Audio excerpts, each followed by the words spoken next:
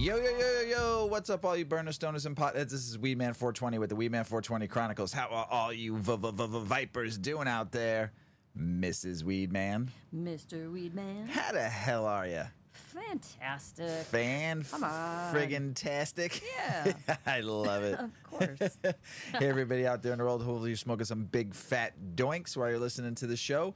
And Mrs. Weedman and I are about to get normal. And we're going to smoke some GG4 again because we love this strain. And we talked about it on the last week's episode, so I don't need to talk about it again. But just know we love this strain, and I have a good amount of it. So we'll be smoking this, am- among other things, too, while, while we're recording these more and more episodes. But super stoked, Mrs. Weedman. Go ahead and light that bowl up. I'm going to. Whenever I think of GG4, I think of like a jet airplane. so I'm going to blast off right now. I love it. I love it. Blast off time for Mrs. Weedman. Hey, everybody out there. We're just uh, watching a new show right now. It's not new, but it's a new season, and it's The Righteous Gemstones. Oh and gosh. oh my gosh, we got done watching The Bear. We talked about that last week, but The Righteous Gemstones. they are fucking awful. they're, they, they're just rotten. Just rotten. Just rotten. Just rotten. Pass that bowl over here, Mrs. Gonna Weedman. have more, but I'll wait. I'll pass Send it back. my way. So go ahead and tell them about about the show. Yeah. so I think we've talked about this show before. and if you haven't watched it, you should.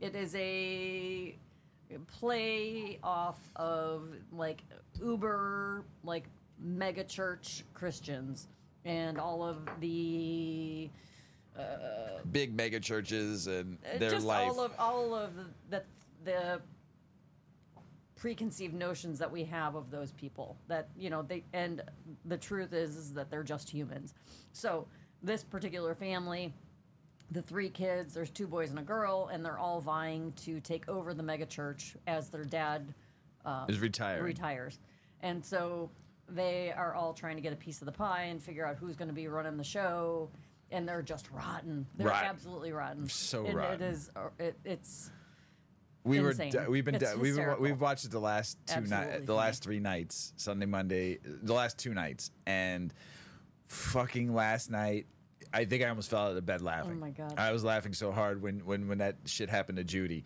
Oh my gosh. Judy is I- the, the, du- sister. Yes. And she, oh my God, she is just hysterical. They're, they're all just hysterical.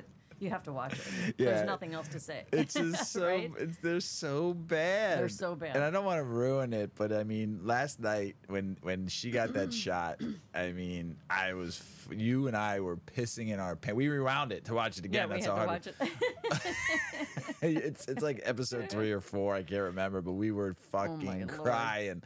It is a funny show. It's a parody of play, like I said, on big mega churches, and but the shit that this family does, and not so much the dad. He The tried. dad, the dad was doing good things. And Right. The mom, and you know, but the mom passed away. And Right. The dad's just time to phase out, and the kids are taking over. are just And- taking over, and they're just rotten. the but I'm always surprised that they're like rotten in front of people. They're not Oh, just yeah. rotten like like behind the. Like you know, I think that we presume these Christian families can only be so good for so long, right? Right. Like they must be doing dumb shit at home. They've got to be saying things that you know the rest of the world doesn't want to hear because they're human, right? They've got to make mistakes somewhere. Everybody But does. these these kids just are blatantly rotten. rotten Oh to my the core. gosh. And they're not kids. They're like in their 40s and 50s, the characters. Probably, yeah. Probably 30s, 40s. like, Yeah. yeah. And they just, I mean, Oh my gosh. when they had the ministry uh, meeting, and oh my god. They had to go before like the council of Yes, whatever all the ministers that and the- they're yeah. affiliated with. and the awfulness, they just like came out oh blazing on fucking fuego. I'm just going to say there's a shoe fight yes, uh, that is, if you watch nothing else, go to season two, episode three. so season three. and ep- oh, season three, Yeah. episode three, and watch the shoe fight. It's hysterical. Maybe watch ten me- minutes leading up to it. Oh my god, I couldn't even believe my eyes. Oh my gosh! I just kept on saying they're No way. fucking No so way. awful. They're terrible people. so I haven't watched it yet. You need to go check it out. I mean, it's just like it's it's on um, now. It's not called HBO anymore. It's called Max, which is weird to me because I grew up watching HBO. So it's like watching a new, you know, symbol on the screen is kind of weird. So, but uh, Uh, it is funny. It is a funny show. So we have something exciting we're doing uh, this Wednesday, and we are going to see a burlesque show. But what type of burlesque show is it, Mrs. Weedman? It's a Star Wars burlesque show. I'm super so stoked. this is going to be really interesting. It's supposed to be funny and really entertaining and What's it called? Star Wars Strip. Star Wars. No, No. Empire strips back. the Empire Strips back. Reviews are good, so we'll see. oh dog. Kids are taking us Yeah. for Mr. Weedman's birthday. Yes, early birthday gift. I'm Yeah. super excited. We're going with O Dog, Polly, uh, Shoddy, and their and and companions. Uh, yeah, and their companions and stuff. So it should be really fun. We'll we'll talk about it on the next episode. What what it was. I am super stoked, and I told this to O Dog. I'm super excited to see who is Darth Vader. Yeah. Well, maybe you'll never know. Uh, Well, I mean, I'm just excited to see like what Darth Vader does. I guess, and what's Now underneath that, yes, I what's can get on board underneath the with. suit. What's he gonna do? We're gonna see Darth Vader's legs. and actually, if you know the movie, Darth Vader's legs are mechanical. And Maybe it- not. Yeah, maybe not. We'll see. the Empire strips back. I want to see Darth Vader in a speedo, with just his helmet I'm super on. stoked to go see this burlesque show when it's all about watching a bunch of stormtroopers run around with their penises hanging out. Man, it's gonna be so fun. Well, I don't know if they get nude.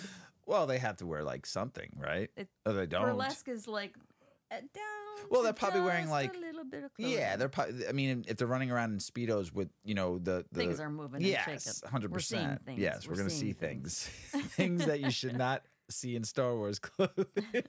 It's gonna be fun. We'll report. We'll report next week. yes, we will. Sure. We will. You ready to get the show started, Mrs. Weedman? I'm ready. You ready? I'm ready. Let's do this. Okay.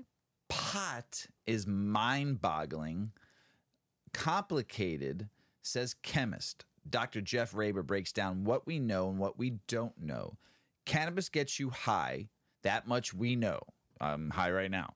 But what chemically happens when you get high and how these effects vary by person and cultivar and means of consumption remains a guessing game. I, I've read this article like two or three times, and I was kind of in the middle of, of doing this article. And you know what? I read it the, the last time I read it, I said, this makes sense. There's going to be some people that are not going to say this article is correct. They're not going to say this article is factual. This is part opinion from Dr. Jeff Braber and part stuff that he has learned and studied. So um, it's much more complicated than marketing would ever want to hear. Much more complicated than most of us would really feel comfortable with or want to understand, chemist Jeff Raber tells. Inverse. Raber, the founder of the cannabis testing company, the Rec Shop, or the Workshop, W E R C Shop, has published research on the huge variation in weed marketed under the same name and the inaccuracy of THC counts on cannabis edibles. And even when cannabis is labeled correctly, it's hard to predict that many effects it can have, he says. That's the problem with viewing marijuana through as uh, he says here a wonder drug. You know how I feel about the word drug when it comes to cannabis. That complexity is double-edged sword of how you can help so many different people in a broad-based set of alignments, Raber says. But then on the other side, how do you figure out which strain or strains can be the right one for you? In a recent interview, he talked about many unknowns, exciting possibilities, and coming changes for marijuana. Let's see what he has to say. On the internet, you'll read that one strain, now this is a question that's being asked of him, has a creative high and another is spacey. How legitimate is that stuff?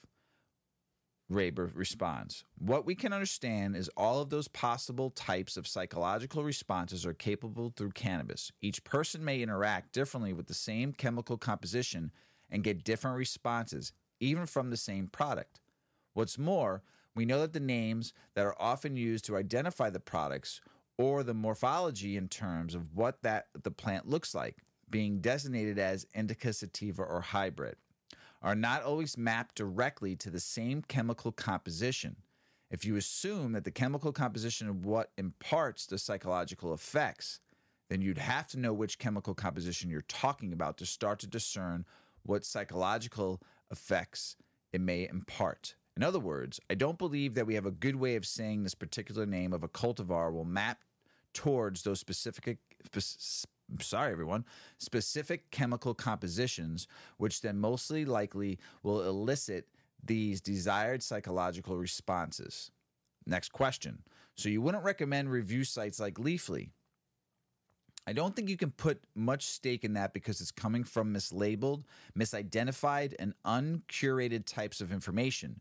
If you know, like we do, that there are a lot of misidentifications of the cultivar name, then how can we be sure that what's actually going into the database represents the same chemical composition every time?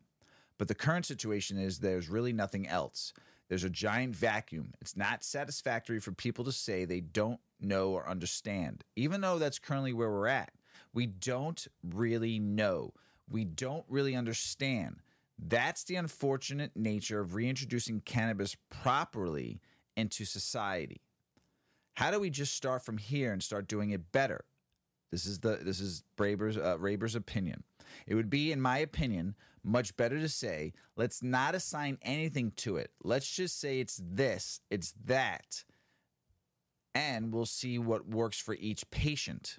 It's very unfair to tell, say, an insomniac who might require specific composition, hey, this one I believe is this indica type. It's going to cause you to be sleepy. The patient goes home, they can't get any relief or any sleep benefits, and they believe cannabis isn't for them. It's not fair in in in this doctor, this chemist's opinion.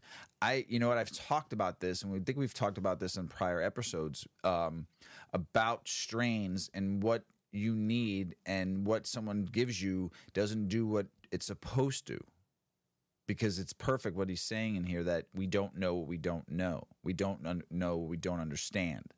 Everybody's different. Everybody body is different. Their endocannabinoid systems are different. Your receptors are different and what each strain does. I know there's certain strains that I really like, but I noticed a difference in certain strains uh, of the same lineage or the same strain. They do sometimes tend to be different.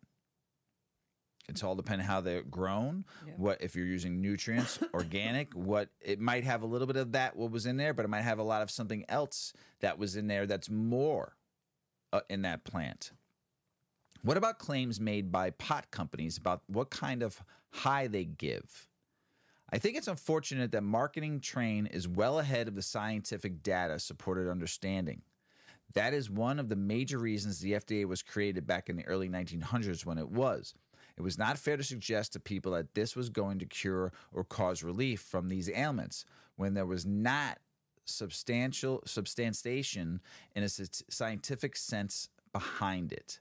Now, I, I I don't agree with everything the FDA does. Trust me, and I know there's a lot of people listening out there and, and know that that the FDA is not 100% accurate. They stop a lot of stuff that could be.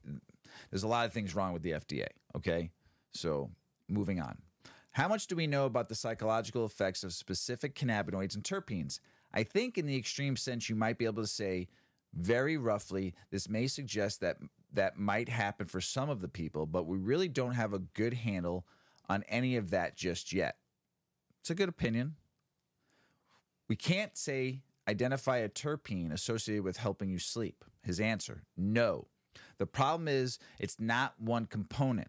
It's what the whole composition is. So when you see information that says the single cannabinoid or the single terpene is uh, purported to do this, it's really what they looked in that study. For example, linalool might make you feel sedated because that's what lavender does for some people. But there's a lot of linalo- linalool in a whole bunch of cultivars that no one would ever claim made them feel sedated. It's not the only thing on, so it's unfair uh, exploitation to say one thing that I believe does this. If it's present, then all of this must do that. That is definitely not how cannabis is working. It's a balance that's offered to your body and your body selects out of that consumption you that you offer it what it needs to choose, how it's going to use it. That's a great line. It may not need as much depending on uh, what you're in balance or out of balance with. Another great line. You also have to take a look at the specific route of administration. Now, this was key when I read this, and I read it a few times. So, your route of administration, because oral is very different than inhaled, which is very different than topical, which is very different than sublingual, or if you're in Alabama, suppositories. Sorry, Alabama, I love you. Roll Tide. It's a very, very big, complex picture where you might need to understand a hundred things at once to start to grab a handle on it. It's much more complicated than marketing would ever want you to hear. Don't forget, marketing is there to sell you something. Marketing doesn't do research. Marketing paints a picture of what cannabis can look like. You on a beach somewhere smoking a joint. You in the mountains somewhere smoking a joint. You in your house sitting on your couch with uh, with a, a, a glass of seltzer in a wine glass that's infused with THC, or in a bathtub eating an edible chocolate. That's what marketing does and they just look at data to put what they've read somewhere. They don't pay scientists to do the research. They just look up and they put it into their little nice little PowerPoint or marketing posters or or the World Wide Web. So don't forget that. They're there to sell. They're just as much salesman as a salesman is, just in a different artistic kind of way.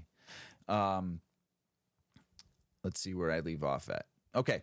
I think we do live in a really fortunate time where we've got algorithms, computer software, and abilities to handle these types of complexities, but it's still exceptionally difficult. That complexity is a double edged sword of how you can help so many different people in a broad based set of alignments. But then on on the other side, how do you figure out which strains the right one? Uh, question How fast is science progressing on these questions? The pace is starting to increase. At least I do feel that's the case. As we see regulations move forward and further, efforts to solidify the operations and allowing everyone to operate in this fashion, more scientists are jumping in. Like I said, we're lucky enough to have great tools nowadays to capture that type of stuff. I think we're going to go we're going to get there. I don't have a good idea about the timeline. It's definitely going to be a number of years until we have a better understanding, but I have no idea how to predict how long it might take until we have a really good understanding. It's something that's kind of unpredictable. Another question. How would you recommend consumers proceed in today's market? Try to, to find a standardized composition. I think I think that will be the next thing we start to see from producers. I, I certainly hope it will be to where they can say, you can consistently rely on me. If this delivers to you, you can get it, it every single time. That has to be the next step before we have the conversation proceed. I don't know how you can discern as a consumer which compositions are standardized, but lab testing thorough regulations will really start to force that. We're seeing the draft regulations and the new laws, the trailer bill, especially, and some other pieces in California that are going to start to dictate that you must be accurate with what you put on your labels. They're not seemingly going to be very tolerant of grandiose marketing claims without any sort of substantial, uh, a substantial uh, by them. So, last part. Does alcohol compare in complexity to weed?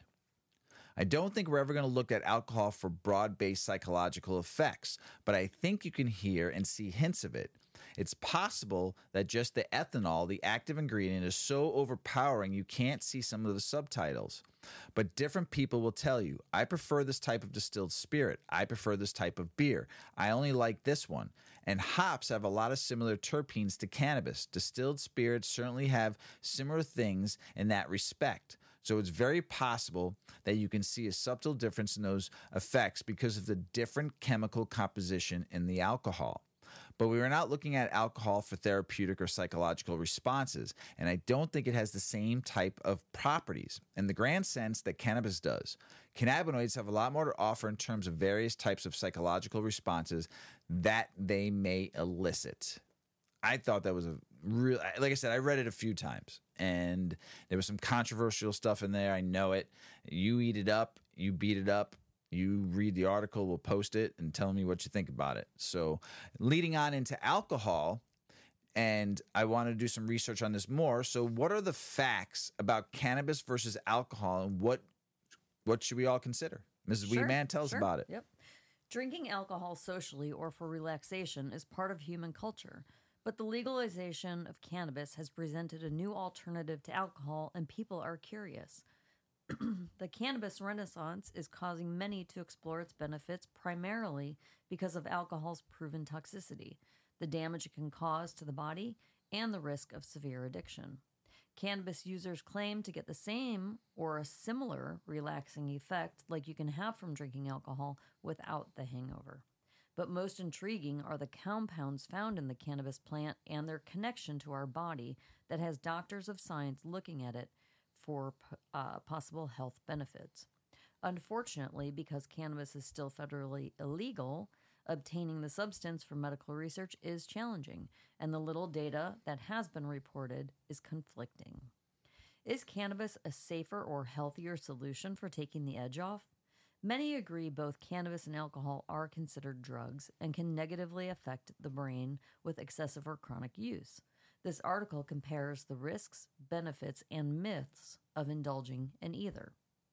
Addiction versus dependency.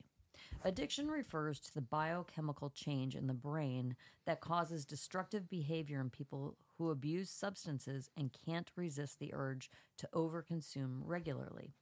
It has caused millions to lose their jobs, ruin relationships, and act abusively toward others. Dependency is the physiological effect substance abuse can have on your body that will likely cause withdrawals uh, to various degrees when you stop using it. Regular cannabis users often discuss the importance of taking T breaks to avoid dependency and tolerance buildup. Insomnia, restless sleep, and irritability are typical withdrawal symptoms someone may have when trying to break free from cannabis dependency. Alcohol has a much worse outcome when someone becomes addicted and dependent. Addiction is described as having an invisible grip on your mind and body that overpowers your decision making process and requires you to have more. It's a battle millions suffer from and succumb to. The World Health Organization states alcohol is toxic and psychoactive substances with dependence producing is I'm sorry, alcohol alcohol is a toxic and psychoactive substance with dependence producing properties. Being drunk versus being high. The effects on someone's personality vary drastically between alcohol and cannabis.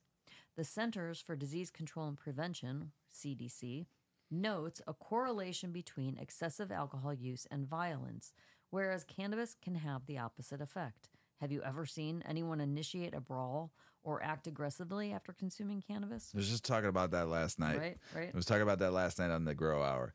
Yeah, talking about I've Yeah. I've It just doesn't happen. I've gotten to plenty of fights on alcohol. Never gotten in a fight when I was high. Right. Never wanted to either. Mm-hmm. I'd rather talk it out and go smoke a joint with that person. So, how do these substances affect the brain? Well, both alcohol and cannabis are mind altering substances that affect the brain's frontal lobe, which results in impaired cognitive function and altered behavior. Although the exact effects of alcohol and cannabis on the brain can vary depending on dose, frequency, duration of use, and a person's sensitivity to these substances. An article published by Harvard Medical School discusses a study by neuroscientist Staci Gruber, a Harvard Medical School associate professor of psychiatry. Dr. Gruber's team led an investigation to study medical cannabis patients over a lengthy time. It documented effects on cognition, brain structure, and function, and found no change to white and gray matter in the brain. Studies show that cannabis consumption under 25 is not recommended because the brain is still developing and its effects have just not been studied. Uh, well documented clinical trials do confirm alcohol's harmful damage to your body and brain. Scientists at the University of Colorado reviewed existing image data on the effects of alcohol versus cannabis on the brain. Their findings linked alcohol consumption with long term changes to the structure of white and gray matter in the brain. The use of cannabis, however, seemed to have no significant long term effects on brain structure, according to the study. That's pretty insane. yeah. Um, what about your overall health? Any doctor will tell you that eating healthy and exercising is the best medicine and everything else should be done in moderation. We talked about that last night too. Many claims have been made, including one from Mayo Clinic, that alcohol consumption in small amounts may be good for stress and heart health. However, the National Library of Medicine warns that alcohol is ethanol, a toxic substance that, when ingested in large quantities, is clinically harmful and can cause death. The World Health Organization stated that the harmful use of alcohol causes a high burden of disease and has significant social and economic consequences. As for cannabis, while the long term effects of use need more research, the most promising scientific breakthrough came in 1992 when the discovery of the human endocannabinoid system that was huge. And we learned that our body's health and wellness depend on it. Think of the endocannabinoid system as the body's command center that keeps our body in homeostasis by regulating other systems like the nervous system, digestive tract, brain, hormones, immune system, bones, skin, liver, and heart. The most remarkable part of this discovery is how phytocannabinoids, which naturally occur in cannabis plants, mimic the behavior of cannabinoid compounds found in the humo- human endocannabinoid system. Dang. It's like it's made for us. Made for us. Miraculously, both human and plant based cannabinoids function the same way and provide similar health benefits to the body. More research is needed to verify how cannabis consumption can boost our endocannabinoid system. As states legalize, more research and clinical trials will become available. Universities nationwide are already implementing cannabis specific medical research centers, similar to the newly formed facility at the University of Utah. Well, can cannabis cause an overdose or death? No one has reportedly died from a cannabis overdose, but it doesn't mean that you can't overdo it. We know. However, the statistics regarding alcohol are far more dire. According to the National Center for Drug Abuse Statistics, 385 Americans die of excessive alcohol use every day. Every day. Every day. What did they say? No one has reportedly died from cannabis. Well, anyway, alcohol causes 13.5% of deaths among 20 to 39 year olds. But even worse, 10.2% of Americans aged 12 and older had alcohol use disorder in 2020. Wow. Decades of research and clinical trials have proven the dangerous effects of too much alcohol. While more research is needed to determine the adverse health effects of cannabis, it's worth noting that people have been smoking it for centuries without exhibiting overtly destructive behavior. So, is cannabis a better alternative to alcohol? I guess it all depends on who you ask. But I, me, this is not the journalist, I think it is. Yes, it is. Not it all depends. It- yes. it is. It is. Just imagine if the whole world just smoked weed. Be a better place. Yeah, at least like at some point in the day. Not even smoke, just consume it. Yeah. Somehow. Somehow get those midichlorians in your body. Make them feel good. On that note, I'm gonna smoke some more. Be careful with that. Nah. you called me a stoner last night. For the first time ever. Yeah. Mr. Weedman was heading down to the studio to record the Grow Hour with Wes, and he was packing a bowl. I'm like, how about for me? He's like, all right. So he packs me a little chillum. I'm like, okay, that's it. I mean, he could be down here for a couple of hours. I, I might, I I actually might need was. something. I actually was like, So I was like, what about? So we had the Dynavap packed. So I was like, oh, I'll take that too. And he's like, whoa, you're a stoner. I was like, "Ah." I'm like, well, yeah, I guess I am. And I walked off with my stuff. there you go. Cannabis. This is a new art. This is a new article. Cannabis is a miracle plant with the ability to change lives. From Israel to the United States, the number of studies of medical benefits of cannabis continues to increase and provide exciting results. The cannabis plant has over 100 known chemical compounds, but the two best known are CBD and THC. That's I wouldn't say they're the best, but they're the two most known because we don't know about the other ones yet.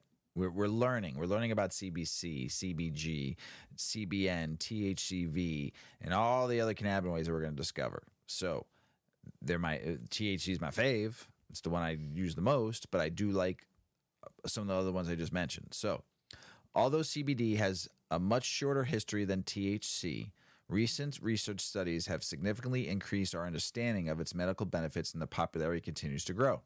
CBD is a cannabis compound that doesn't have the primary psychoactive ingredient found in THC when it gets the user high. The characteristics make CBD an appealing option for patients who are not who are looking to treat ailments such as pain, anxiety, psychosis, seizures, spasms, to just name a few. Okay. Before I move on, you have to take CBD every day consistently to feel the effects consistently.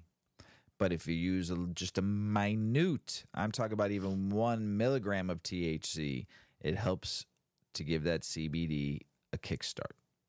Just I've talked about it before. So, cannabis is a miracle plant. The cannabis plant is a miracle plant with the potential to treat countless debilitating conditions from epilepsy to multiple sclerosis. Cannabis can improve daily life for millions of people across the globe, and we need to recognize it for what it is a medicine, not a drug. Please, please, please stop calling it a drug. It's a medicine. Thank you. Unlike other pharmaceutical drugs, such as opiates or benzo, oh man, benzos, I'm just going to call it benzodiazepines, cannabis does not require you to take another type of drug to combat its side effects, which we talked about yesterday on the Grow Hour. Although cannabis can increase your appetite, it will not force you to take another drug to feel better. I love it as we know and as you see commercials for drugs okay? Take this pill but it, there will be side effects of three or four or five or six or seven or eight things. So then they can get you to take more pills to combat those. Let's just say you get nausea okay? So now i have to take a pill that combats nausea but that nausea pill actually makes me uh makes me dizzy. So then you have to take a pill that's dizzy. Mrs Weedman am i right or am i wrong? You are right. 100%. Um, although medical cannabis still has a way to go before we all can be, since it will be accepted as a medical treatment, there have been a number of developments with regard to its medical benefits. We want to highlight seven of the known benefits. Epilepsy. Over the last two years, we've heard some incredible stories from parents of children who were having more than 300 seizures a day. These children were being prescribed large doses of prescription drugs such as benzodiazepine. That kills people, which did not solve the problem and had a negative impact on the child's demeanor. Yeah, you made the fucking kid a, a, a, a zombie. Uh, the growing number of research studies and stories from the parents of children who have benefited from CBD had led to an influx in the number of parents using CBD as a treatment. Many parents have said that CBD is an effective treatment that has been that has reduced the frequency of daily seizures by more than ninety five percent. Um, the benefits that CBD has for its patients with epilepsy has been a catalyst for the legal cannabis movement, as we have seen a significant increase in the number of states that have limited medical cannabis markets, which allow only strains with very low THC and high CBD. Crohn's disease. Researchers and scientists have said CBD could be an effective treatment for Crohn's. In 2015, researchers in Israel conducted a study which reported uh, significantly lower symptoms in 10 out of 11 patients with Crohn's disease. The study said five of those patients saw complete remission from treatment. Uh, PTSD, post traumatic stress uh, disorder. Every veteran out there should be able to get free CBD or free cannabis for PTSD. It's been proven to work, it's been proven to help, it's been proven to give patients who suffer from PTSD, it slows everything down, including their mind, and calms the user. That's why we talked on the last article that no one fights on cannabis. Right. Pain. One of the most well known and well documented medical benefits associated with cannabis is the ability to treat pain. In 2011, researchers said that cannabis may help relieve pain for people suffering from rheumatoid arthritis. Acne. Uh, there's another, not just CBD, CBC is incredibly great for acne. A study published in the Journal of Clinical Investigation and National Institute of Health discovered that CBD can provide treatment for acne. Researchers used cannabis-derived cannabinol on humans, uh, human uh, glands and concluded that CBD acts as an anti-inflammatory agent by inhibiting lipid synthesis. Insomnia. Also, researchers have found uh, tiredness to be one of the few side effects of CBD. This is a benefit for people who have trouble sleeping. Unlike pharmaceutical drugs, as in Ambien, which makes people fucking walk around the house like zombies and just do stupid stuff, CBD does not pose a risk of it for addiction and does not leave you feeling groggy the next day. Multiple sclerosis. Um, uh, GW Pharmaceuticals developed a commercialized Sativex, the world's first cannabis derived product for treatment of spasticity due to multiple sclerosis. Sativex is sold in 29 countries, is also being developed as a treatment for neurotic, uh, neuropathic pain. It's in phase two of clinical trials. Yes, it's a pharmaceutical. You could probably get better CBD buying it from a farm, somewhere where you know where it's coming from, not gas station CBD, please, and not vape shop CBD. Okay. You want to buy, no, you want to see COAs, you want to know where it's coming from, you want to know where it's being grown, what's going in it. That, I'm not saying anything bad about Sativex. I know some people that have used it. It's helped with seizures, it's helped with a few other things, but I'm just telling you, you could probably get better stuff than pharmaceutical stuff. Okay. Because it's not synthetic. This was a great article. Uh, I posted it on Saturday on my uh, my uh, social media, and this is about Nikki Lawley connecting the dots with uh, with cannabis, or cannabis connecting connects my dots. I think you need to connect a new dot. Here, have a bowl. oh, thanks. Connect Okay, some dots there, Mr. Weedman. I'll tell the story. please tell us the story, Mrs. Weedman. All right. Nikki Lawley, author, and this is her own um, story. Cannabis connects my dots. My name is Nikki Lawley, and cannabis saved my life. I am a traumatic brain injury survivor, and I truly believe that without medical marijuana, I may not be here today. Finding cannabis was a long and difficult journey for me, and I want to tell my story. Before my injury, I was a happy, well rounded mother of two grown children, a grandmother, happily married to my partner of 20 years. I was a career focused woman, a business owner, casino dealer, and pediatric nurse. I enjoyed travel and the outdoors, was an avid reader, and a social butterfly with a happy go lucky life. But everything took a dramatic turn one October day, a day that would shift the very trajectory of my entire life as I knew it. October 11th, 2016, was the last day I worked in my chosen profession of nursing. I was just doing my job like any other day, a normal 12 hour day working in a busy pediatric practice in Buffalo, New York, when my life was forever altered. On that day, there was a combative 10 year old boy giving my coworker a hard time getting his routine immunizations. Every time my coworker would try to give the injection, he would flap his arm, and it became a very unsafe situation. I went in to assist and help the parent with a routine restraining hold to safely administer the vaccine. I got behind the parent and the combative 10 year old, uh, got behind both of them. I instructed the parent how to restrain his arms, and I went behind the child and the parent to secure the hold. In an instant, things changed. The child tucked his chin and threw his head back, hitting me in the forehead. Oof. I was thrown backward into the plaster wall and back into his head and suffered a concussion, a mild traumatic brain injury. But there was nothing mild about its impact on my life. I immediately recognized something was wrong. I struggled with my eyes, my left arm, head pain, dizziness, and was overall feeling sick. The physician who was working that evening sent me to urgent care where it was confirmed I suffered a closed head injury. They gave me a note to be excused from work for the rest of the week. I expected to get better, but I was not able to do my job anymore or continue pursuing my RN degree. I expected to get better, but I was not able to do my job anymore or continue pursuing my RN degree.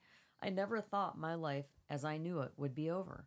I never knew what chronic pain was since I had never experienced it. I never knew what an invisible illness was or how my credibility of being a healthcare provider would come into question. This once respected nurse was now suffering from subjective symptoms. That traumatic brain injury changed everything in my life. The most basic of skills was now impaired from finding the right words, memory, working memory, balance, never ending head pain, neck pain, losing the ability to count, and the incredible anxiety I suffered every day. I was so stressed out about not working, about all of the appointments I now had with different doctors and therapists, never ending imaging, and nonstop replaying of the incident to all of my providers. My husband went from being my chosen life partner to being my full time caregiver. He had to drive me everywhere. He had to do the household duties. He had to take care of the pets. And he had to make decisions for our home. I was in a system of hell and made to feel like I was crazy. It was almost like I had to prove that I was ill, that I was in pain, and that I was no longer the same person. It was a horrible and horrific experience going from respected nurse to being a crazy woman with quote unquote nothing wrong. After seeing over 50 medical providers, being on over 50 different medications, traveling to several different states, and even going to Canada for specialized testing and treatments, it took 18 months to finally get a diagnosis. I not only had a traumatic brain injury, but also cervical instability in my neck, which explains so many of my lingering symptoms. And while I was in dire agony, I would soon find relief in the most unexpected way. I discovered cannabis by accident in the most unlikely of places. My husband, trying to cheer me up, planned a trip to Las Vegas, but the trip was an absolute horrific experience. The flight, the airport, the people, the lights, and the activities were too overwhelming. The first four days of our trip, I was unable to leave our room. I just cried in agony and pain and was feeling so depressed that I was prepared to take my life. We were in a balcony room on the Las Vegas Strip. I dragged the end table over to the edge of the balcony and I stood on it, saying to myself, I just need to stop being a burden to the world. No one can live like this. It's not even fair to my husband. In that split second, I saw a mobile billboard driving by on the strip advertising Get your medical marijuana card in Nevada today. It went by a second time and I just laughed. While I was not an avid user of cannabis, I had occasionally consumed it at parties, but I never thought of cannabis as medicine. I never imagined it could help me. Well, that day, when my husband returned to the room, we decided, let's go and let's try it. I reluctantly got my medical card at a clinic and visited a dispensary. It was very overwhelming at the time, but the products I got that day literally gave me hope for the first time since my injury. After four days of not leaving the hotel room, I was able to function in a way I had not in months. For the first time, I found hope in something. Cannabis didn't cure me, but it gave me hope.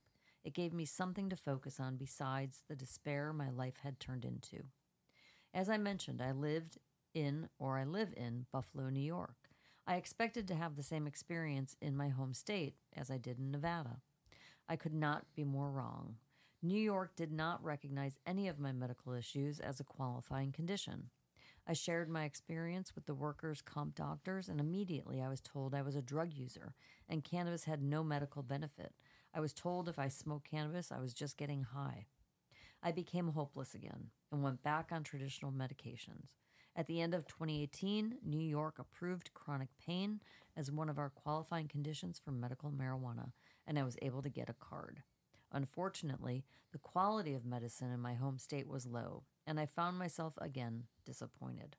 Thankfully, I had friends in Canada who allowed me to travel to their homes and experience Canadian cannabis. I learned how cannabis could help me with my chronic pain, anxiety, and depression, and cognitive function challenges. I became a medical cannabis refugee in Canada because of the access to so many specific products that helped me find relief. It helped my symptoms so much, the entire plant, including minor cannabinoids and terpenes. Cannabis saved my life. And because of this, I am loud, proud, and passionate at advocating. I love it. I am normalizing the conversation surrounding cannabis as medicine. I have learned so much, and I believe I was chosen for this journey to help others discover cannabis as medicine for their symptoms, especially for people dealing with invisible illnesses and mental health challenges. Doctors are taught are not taught about cannabis as medicine.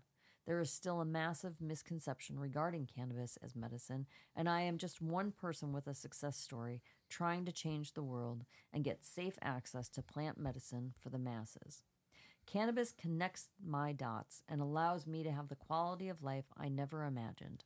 The plant is my passion, and I want to educate folks to look at it without fear and to help people live their best lives. Great, great cool. story. Yeah. Great, great read. So happy for for um, this to come out and Miss Lawley to really find medicine through cannabis, as we've been talking about in the last couple articles. You know, so Yeah. it's just more and more. So it's amazing. So connecting the dots, it's amazing. Very. Oregon regulators recall cannabis due to arsenic contamination. It's crazy. New, uh, new Oregon testing protocols turned up levels of arsenic in a batch of cannabis flower that pose a risk to public health, regulators said. That's just nuts. I mean, to worry about arsenic in your in, in your medicine. Missouri instituted statewide cannabis banking law. That's great because we can't even fucking get the banking law done in this whole entire country for the cannabis industry. It's terrible. And Missouri just flips the switch. It's amazing. Uh, also, Missouri did 121 million in June. That was their numbers. They're just killing it. And here's the, another thing I read: Missouri is selling four million dollars worth of ma- of marijuana per day on average. Four million dollars a day. Crazy. A lot of money for people to make. Yeah.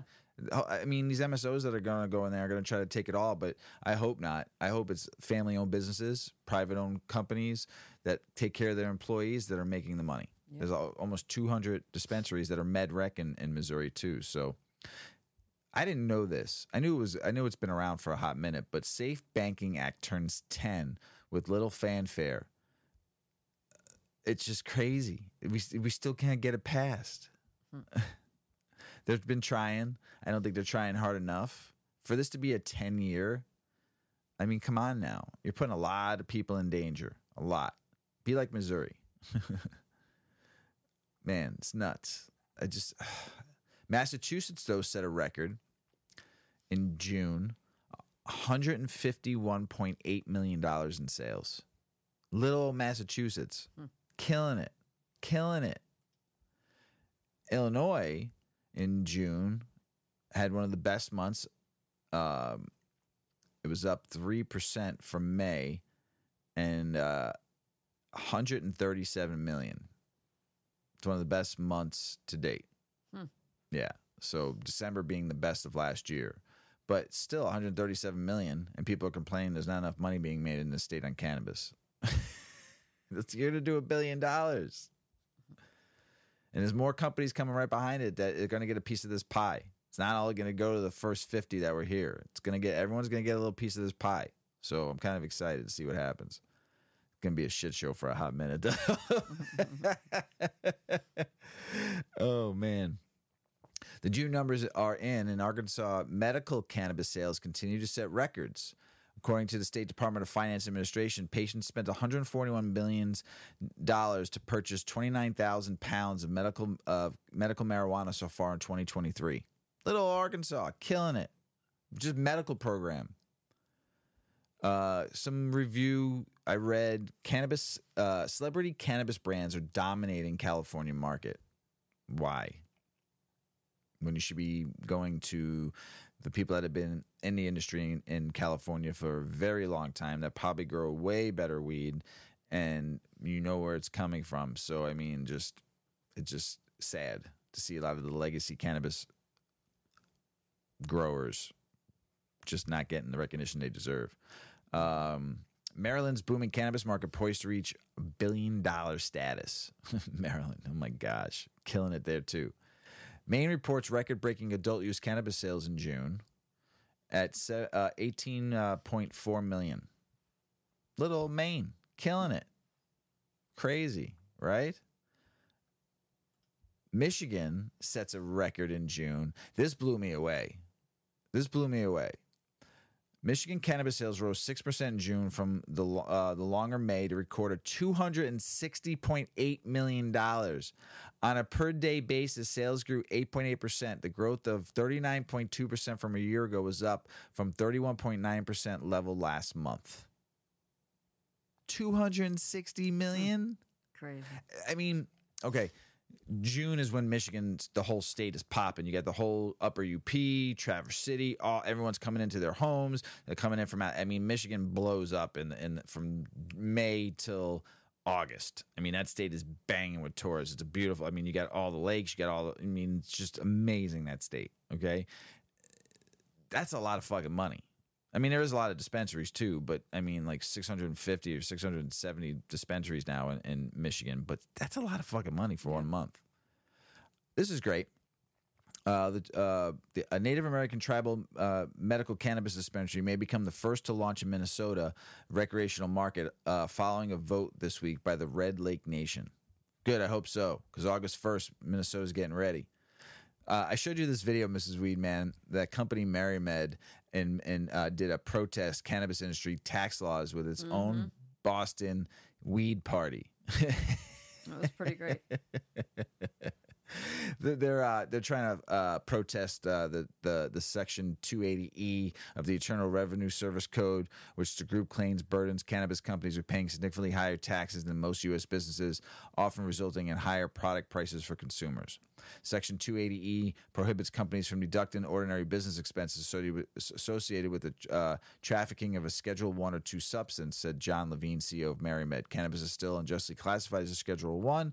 That creates a barrier to the growth of the legal cannabis industry in this country. And they went on this big ship, went out in the ocean. They threw a bunch of empty weed boxes, and then I heard they collected them back after it was over. But yeah, they were all dressed in like the colonial time era costumes and stuff. I, yeah, it was late night when I showed you that video. It was pretty funny. Um, good for them. Uh, but I, I mean, here's I like that they did it, but this is not just about throwing weed or fake boxes of weed overboard. You made a stance. You showed some some character and some balls, and I love it. But this is uh, this is the United States of America's issue, and this is everybody needs to be on the same page with this if you want to get good weed for a good price and not be ripped off by the government, who is putting laws into place, but they can't get banking safe banking going on. But they they want their money, you know, they want the tax. They're writing the laws, and they're not doing anything about it. Um, Meta, who owns Facebook, Instagram, and the new Threads, which I I have an account, and I just like, oh my god, it's just another Twitter. Uh, and do I need another social media in my life? You know, kind of thing. But will allow limited CBD and hemp advertising on apps like Facebook and Instagram. Very limited. I'm like, this is like so limited. So it's don't get excited because you still lose your account. so the war on drugs. Yeah. It is the- the 50th anniversary, and the DEA is celebrating The 50th. the massacre of, of lives, the people in jail, the trillion dollars spent on the war on drugs, and and and what are drugs doing? Thriving. They're winning. They're winning. and we spent uh, taxpayer money. Now, don't forget that it's not the government doesn't have a trillion dollars to spend. They get it from our Right. taxes. A trillion dollars was spent in 50 years that could have went and helped homelessness, could have helped our veterans, could have helped research on the cannabis plant, it could help research all these other things going on and also get people homes, feed Mm, sorts people. Oh my gosh, just devastating. The waste that. Yeah. Yes. Go ahead and tell us about the war on we go. drugs.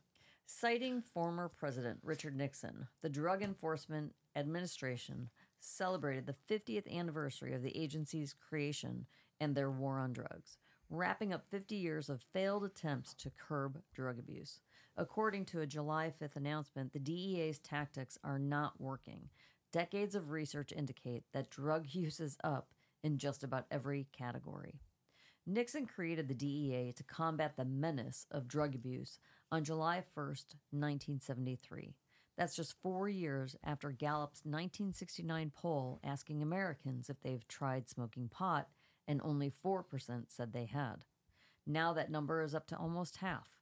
Cannabis and hallucinogen use is at an all time high, a National Institutes of Health supported study reported in 2022.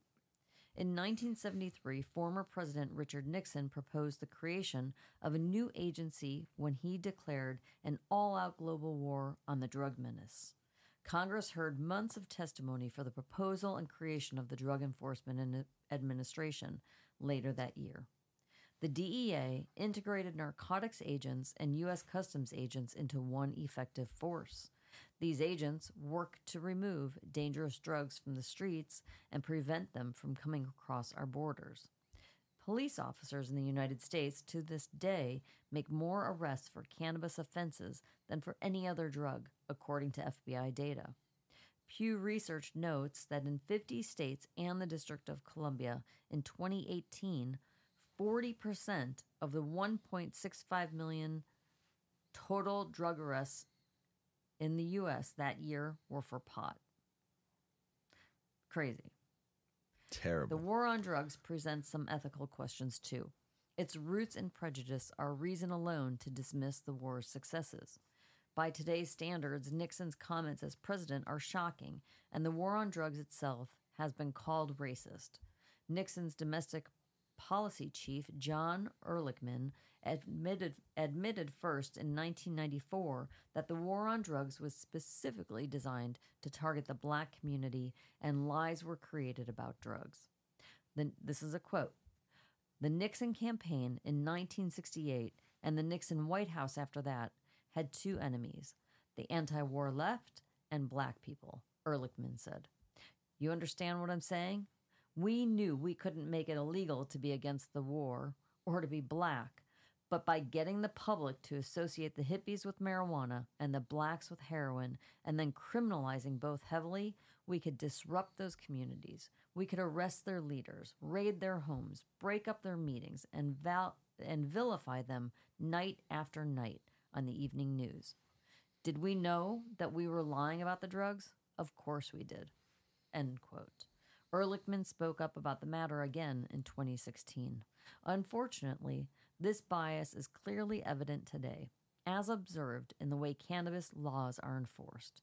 Data collected by the American Civil, Civil Liberties Union, the ACLU, uh, shows that due specifically to racial profiling and bias in cannabis enforcement, black people are 3.6 times more likely than white to be arrested for cannabis possession, despite similar usage rates. That rate goes up 10 times more likely than whites to be arrested for pot in certain states such as Mon- Montana and Kentucky.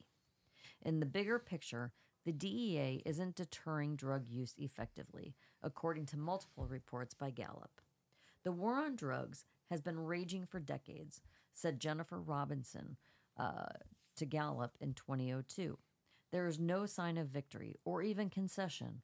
Although they're swamped with anti drug messages, kids keep taking illegal drugs, and drugs are getting more dangerous. The Centers for Disease Control and Prevention's 1999 Youth Risk Behavior, Behavior Surveillance System found that almost half, or 47%, of all high school students had used marijuana at least once, and 10% had tried, tried some form of cocaine. The DEA was far from the first attack on cannabis. Prohibition effort. That didn't even sound right. I'm really high. told you to, I yeah. told you to be careful with that. right? I'm like in my own little zone over here. the DEA was far from the first attack on cannabis, though. This is my little adage at the end of this this article because 50 years is the DEA, but the ev- this trying to stop and prohibit the use of cannabis goes way beyond. Oh, that, way right? deeper, yeah. Um, prohibition efforts date all the way back to the 1937 Marijuana Tax Act, which is over 80 years ago. And before that, independent states were prohibiting its use. It's our responsibility as consumers to set the record straight. So let's stomp the stigma and free the plant. Free that plant. Free it. Free it. International news Luxembourg's marijuana legislation law will take effect this week, government says. A new law legalizing the possession and personal cultivation of marijuana for adults in Luxembourg officially takes effect on Friday, the government has announced. Yay, Luxembourg. Yay, Luxembourg. They, they did it even before Germany got it done. The Ministry of Justice published a statement about the forthcoming policy change in the official journal on Tuesday, a procedural step that means the legislation will come into force in four days. This comes about a month after Luxembourg's parliament passed a legislation bill making it the second country in the European Union to end cannabis prohibition following Malta's vote to legalize in 2021. That seems so long ago we read about Malta. The law in Luxembourg, which was first proposed by the Minister of Justice and Homeland Security in 2021, will allow adults to possess up to three grams of cannabis and grow up to four plants uh, in a secure location within the private residency. So, uh, I hope possession means like outside their home because if they're growing four plants, they're going to have a lot of weed. So, a lot more than three grams. so, good for you, Luxembourg. Super stoked. Go get them. I can't wait to go out there one day and smoke some home grow. Uh, Parliament passes law to allow industrial cultivation of weed, licensed to be issued by the Interior Ministry of where? Ghana has followed through on its promise to once again pass a law that allows for industrial cultivation of cannabis. The amended Narcotics Control Commission Amendment Bill 2023 will give the Interior Minister authority to issue licenses for the cultivation of the plant. MP said the passage of the bill that will allow the cultivation of the plant for medicinal purposes was important. Ghana's parliament, for the second time, passed a bill allows the cultivation of weed or cannabis for industrial and medicinal purposes. Good for you, Ghana. Amazing. Germany Minister of Health unveils cannabis legalization draft bill. Man, you're taking your sweet old time, Germany, trying to pass anything right now. And you've taken a lot of steps back on what your initial plans were. I'm proud of you that you're doing this, but man, I mean, you could have had this done like two years ago. I mean, quick. You're one of the biggest importers of cannabis around the world, and you're still medicinal. That should tell you something. I think this is a great story. If you were given a wedding, right, mm-hmm. forty thousand dollars, and it was weed themed, how stoked would you be now, knowing That'd be that? pretty sweet, right? yeah, tell us about it, Mrs. Weedman. Yeah. A Waterford couple will have the weed themed wedding of their dreams after beating out more than 15,000 couples who vied for a $40,000 wedding giveaway. The Greenhouse of Walled Lake, a medical and recreational cannabis dispensary, announced the giveaway in March and attracted far more contestants than it had imagined. Ju- that's a lot, 15,000? That's a lot of people, Yeah, couples. couples. Judges selected Danielle Geralds and Niall Hunt to receive a wedding reception and ceremony with all expenses paid up to $40,000, the dispensary announced on Monday. With the help of a professional wedding planner, the couple will tie the knot in front of 50 friends and relatives at a festive setup at the Greenhouse of Walled Lake on October 5th. After the ceremony, guests will toss marijuana leaves instead of rice at the Lovebirds, yeah. and cannabis infused cuisine and cake will be served. Choice Labs of Jackson and Treehouse CBD of Walled Lake co sponsored the giveaway. The couple met while Hunt was in US in the US Navy. He served in combat in Afghanistan and was seriously injured by an improvised explosive device. He also has post traumatic stress disorder, but has found that cannabis helps him manage both conditions. The process of picking the winner was tedious and painstaking, a news release said. Couples were invited to enter the contest by filling out an online form with a short message telling the judges why they wanted to win.